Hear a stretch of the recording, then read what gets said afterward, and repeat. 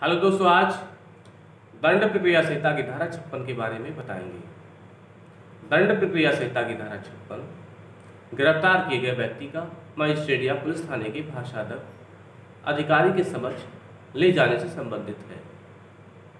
जैसे वारंट के बिना गिरफ़्तार करने वाला पुलिस अधिकारी अनावश्यक विलंब के मतलब बिना देरी किए, जमानत के उपबंधों के अधीन रहते हुए, उस व्यक्ति को जो गिरफ़्तार किया गया है, उस मामले में अधिकारता रखने वाले मजिस्ट्रेट के समक्ष या किसी पुलिस थाने के भारसाधक अधिकारी, प्रभारी निरीक्षक जैसे एस एच ओ या इंस्पेक्टर जिसे आम भाषा में बोल, बोलते हैं, के समक्ष ले जाएगा या भेजेगा।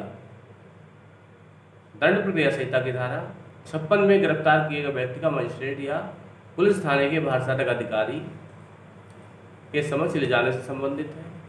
यही इसमें प्रावधान किया गया है।